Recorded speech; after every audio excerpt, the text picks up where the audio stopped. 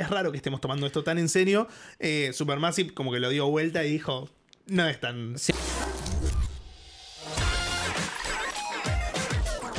Malditos Nerds Infoae, bienvenidos y bienvenidas a un nuevo video en el canal. Mi nombre es Nicolás Rábago Raon y en esta ocasión vamos a hablar de un juego que la verdad creo que en la generación de PlayStation 4 dio de qué hablar inició un género quizás para el estudio que se, medio se, se, hizo profesionales en hacer este tipo de juegos. Y para hablar de eso, tenemos al especialista, al único, Lucas Rivarola. muchas gracias por esa introducción, Raba. Estamos hablando de Until Dawn, un clásico entre clásicos de la era PlayStation 4, uno de mis juegos favoritos de Play 4, yo lo disfruté mucho, pero no se va a quedar en Play 4, pareciera. Chan, chan, chan. Eh, el señor Billy Bill que ya tiene track record de haber liqueado algunas que otras cositas, dijo que este juego va a llegar a PlayStation 5 y PC. Y que el anuncio oficial se va a dar dentro de los 15 días. Esa data es demasiado. ¿eh? Demasiado precisa. Es demasiado elijo creer o no. Sí. Pero eso es lo que dice el muchacho. Dijo, dijo incluso que esta versión ya se está desarrollando desde hace más de un año. Lo cual para mí sí viene el anuncio oficial pronto, por ahí ya viene con fecha y todo. Y Until Dawn dejaría atrás la Play 4. Es un juego que en Play 4 ya se veía muy bien. Se veía muy bien, se veía muy bien. Y, creo que, no va a desentonar para nada con, ni con PC ni con PlayStation 5. También tiene que ver un poco con la, estrategia ¿no? de Play de, sacar sus juegos que fueron exclusivos en Play 5 remasterizados y aprovechar como el boom para llegar a PC. Ya está. Es que me parece que es lo ideal. Aparte, Until Dawn, yo lo recuerdo en Play 4 como un juego que, si bien se veía lindo, tenía algunos eh, problemitas de, performance, más que nada frame rate eh, bastante duro.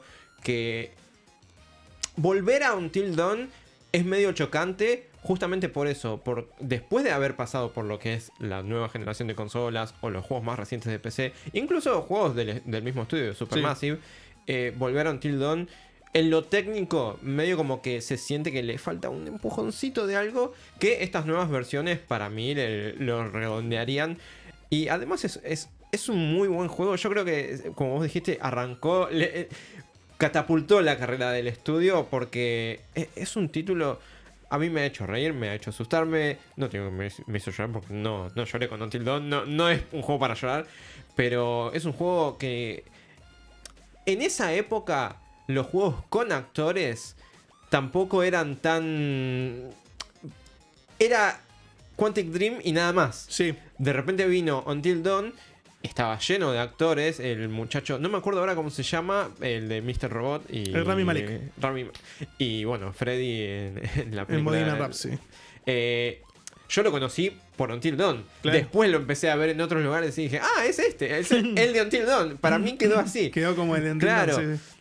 Y entonces como que le añade esa cuota de, de encanto que hacía falta. Para mí los juegos con actores son como para cagarse un poco de risa porque no, no son para tomárselos demasiado en serio. Y Until Dawn, a pesar de ser un juego de terror, también tiene esos momentos de, de te reís con alguno de, los diálogos.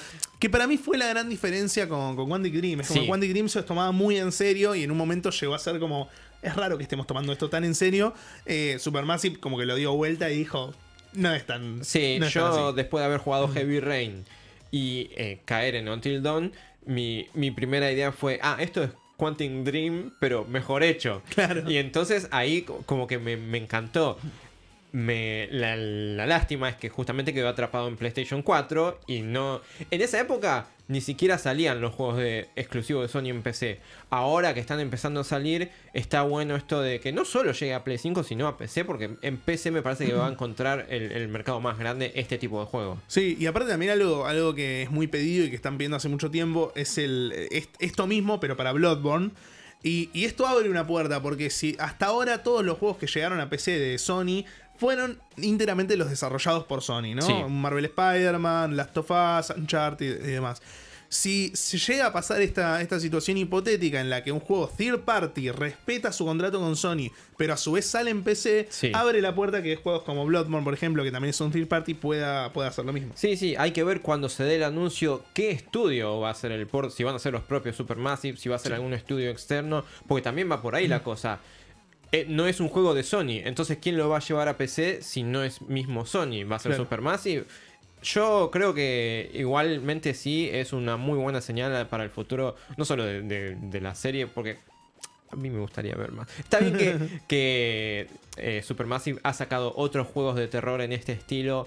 Pero el encanto de Until Dawn es Until Dawn. Yo, yo creo que es, es cine B de terror. De, sí, dale, dale.